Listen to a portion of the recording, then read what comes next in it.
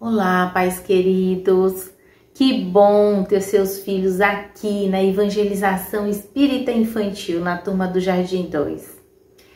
Na semana passada, eles tiveram a décima aula com o tema Jesus, o amigo verdadeiro.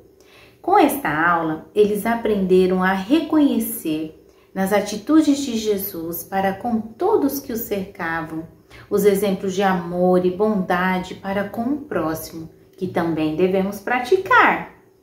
Como complemento da aula, foi enviado junto à criança a atividade da cartilha do lar e esperamos que vocês, juntamente com eles, possam realizar essa atividade, contribuindo para que sejam homens e mulheres de bem. Vamos para a tarefa? Mamãe e papai. Jesus é meu amigo está sempre ao meu lado, acompanhando meus passos e nos ensinou que tudo que fizestes a um desses mais pequeninos dos meus irmãos é a mim mesmo que fazeis.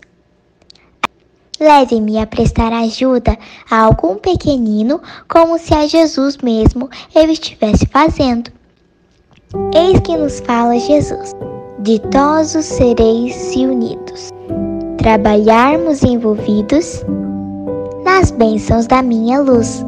Rinaldo Lacerda.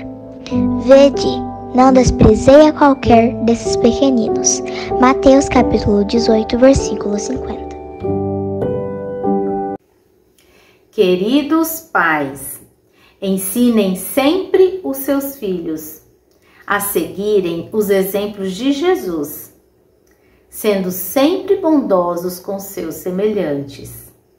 Um grande abraço.